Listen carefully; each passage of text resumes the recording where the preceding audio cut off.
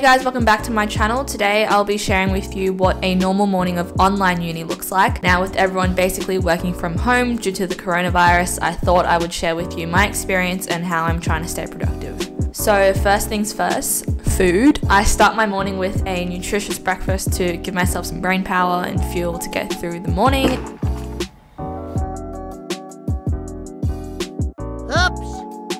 So, especially if I wake up early, I try to sort of ease myself into the work. So, before I even sit down and do any work, I'll just have some breakfast, catch up on some YouTube to get it out of my system for the rest of the day. And then when I finished eating, I will also try to plan out my day.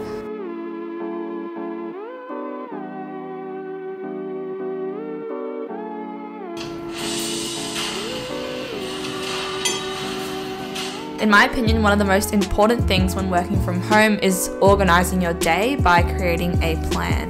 So, here in this notebook, I'm basically doing a little brain dump of all the tasks that I need to get done for the day. I know it does look like a lot, but I find the more I write down, it keeps me motivated to work harder and use my time more effectively. And then on the sticky note, I've sort of just reminded myself of the things that are already scheduled in for that day. So these may be online lectures, tutorials, or other tasks that were just planned ahead of time. The first thing I have this morning is a scheduled lecture which starts at 5 past 9. So I really quickly prepare for the lecture by importing the slides into GoodNotes and pre-screenshotting all of the diagrams so that I can write my notes while the lecturer is speaking. I also find by doing this it helps me get a good overview of what the lecture is about because I'm just flicking through the slides.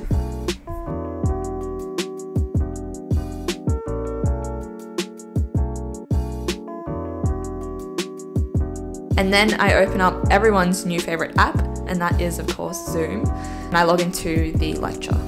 For this subject in particular, they do live lectures on Zoom, so I always try to tune in and watch it live so that I don't fall behind on any of the content. In my last video about digital note taking tips on GoodNotes, someone asked me how I do my headers, so I'll just really quickly show you. To do so, I use the brush pen tool, which you can find by clicking on the pen symbol. Then I use about a 0.5 millimeter tip. So to get this effect, you basically just press harder on the screen on your downstrokes and light on the upstrokes like normal calligraphy. And then I use the highlighter tool on the thickest tip and draw two lines on either side.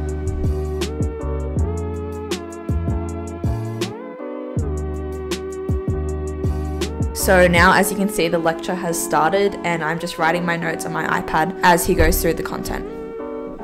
As I talk through some of the theory behind the product, I have the opportunity to ask questions um, and all that kind of stuff. Okay, uh, so motor is the particularly reflexes are a focus today. Oh man, what's this thing written on my screen all about?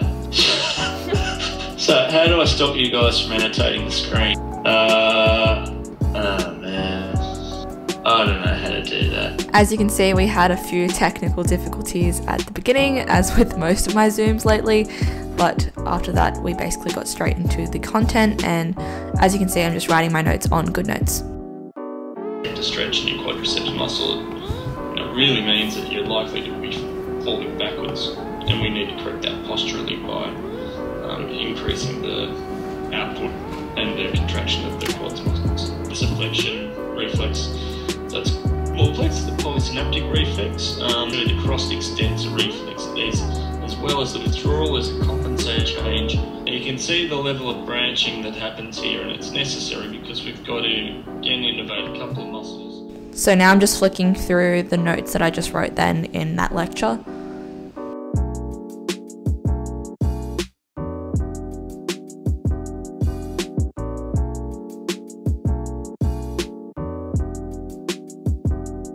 So that lecture only went for one hour, so when that finished, I ticked it off my to do list and moved on to the next task. On my to do list, I grouped the tasks by subject to make it more organised and clearer in my head. So, just while I was in the groove of studying physiology, the next thing I went on to do was write active recall questions to recap the content I just learned. That is one tip I have to stay on task. You can sort of minimize procrastination by grouping your work based on each subject so there's less distraction because you won't have to get out new resources, books, and like change your mindset of whatever subject you're studying. This year, I have organized a lot of my work online, so I'm using an app called Notion. Some of you may have heard of it before, but basically, it's like making mini Wikipedia pages on each topic, lecture, subject, whatever you want. You can import slides, images, write text in each page. So here I am just writing questions based on the lecture content for my future self when I revise. If you want to see a video on how I use Notion for uni, then leave a comment down below and I'll be sure to get onto that.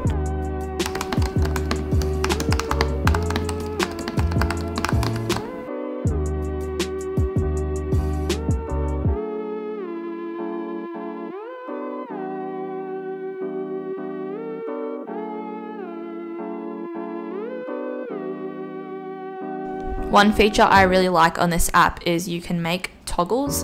So basically, they're like drop down boxes. You can write the answer to each of the questions. So when you test yourself in the future, you just click the toggle and then the answer is right there. So it's kind of like making mini flashcards.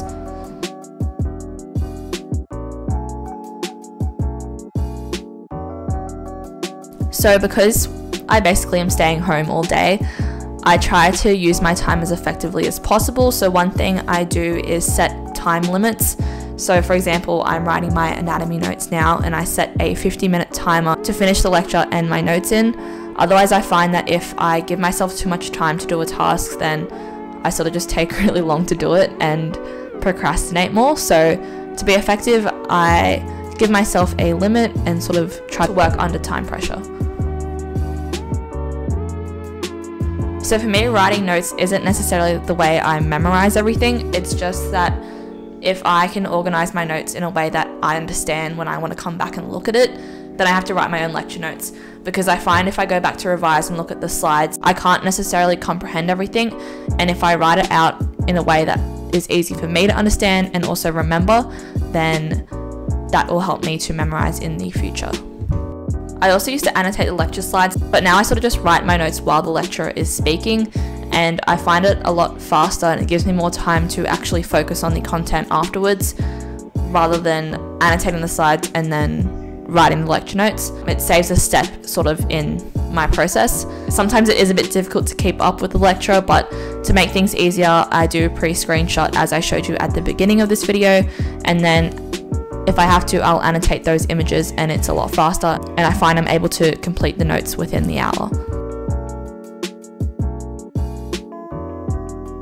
Another productivity tip I have is to put in systems within each subject of how you study. As you can see in this video already, in physiology and anatomy, I sort of study in the same way where I will do the lecture notes when I'm listening to the lecture, and then afterwards, I will write questions based on the content on Notion so I can practice in the future. By setting up this system of how I study for each subject, it makes the tasks that I need to complete a lot clearer. It also ensures that I stay on top of the content because I know what to do after each lecture and I'm not sitting around wondering what tasks that I need to complete.